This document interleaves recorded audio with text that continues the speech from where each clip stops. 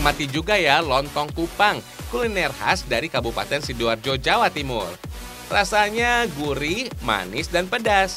Ngunyah jadi makin seru, apalagi kandungan asam amino esensial pada kupang. Baik untuk kesehatan. Fems, kupang adalah hewan laut sejenis kerang atau tiram. Ukurannya hanya 3-5 mm saja. Imut banget kan? Hewan laut yang bernama latin Corbula faba ini banyak dijumpai di pinggir pantai dan bersembunyi di dalam lumpur. Gak gampang buat didapatnya, sama sulitnya untuk mendapatkan kayak hati kamu gitu. Hahaha. Untuk menghilangkan bau amisnya, kupang harus dimulet alias digongso dengan kayu.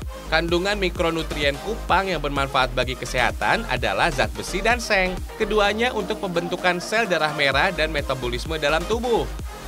Pisahkan kupang dari cangkang PEMS dengan cara direbus. Cuma butuh waktu 15-30 menit aja kok. Lanjut, bikin leto dan petis. Bahannya ada gaplek atau tepung singkong.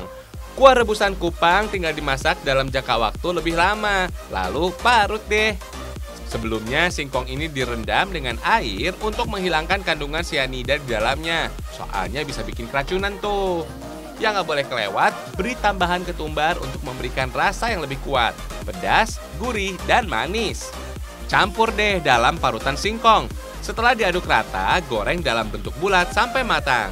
Untuk petisnya, campur air rebusan kupang dengan gaplek atau tepung singkong.